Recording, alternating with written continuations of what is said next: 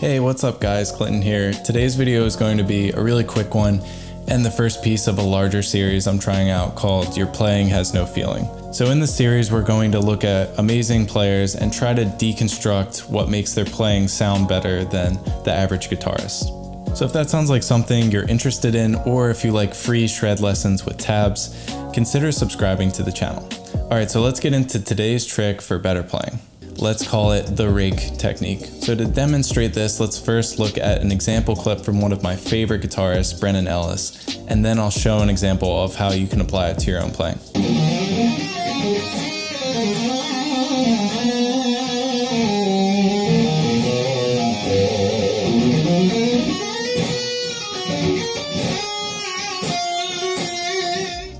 So take a look at this note here and you'll see the rake technique I'm talking about in action.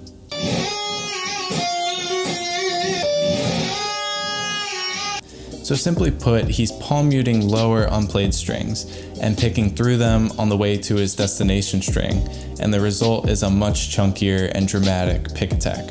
Here's me playing through the same lick with no accents in my playing, and then here's me playing through the lick trying to accent certain notes with the rake technique.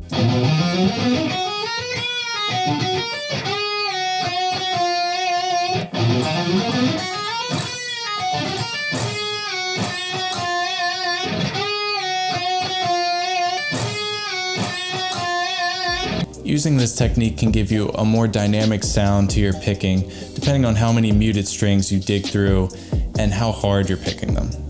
Start by practicing this tip on just one note and then try working it into your licks that you normally play. Here's an example.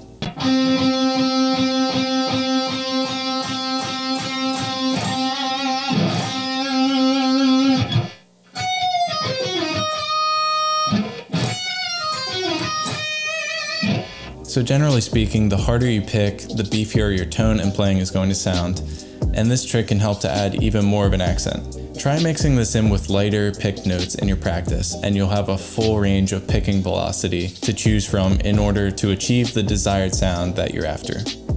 Anyways, that's today's trick, so I hope it helps you guys spice up your single notes and your bends. So uh, let me know what guitar player you guys think has a lot of feeling and subscribe for more videos like this. Thanks.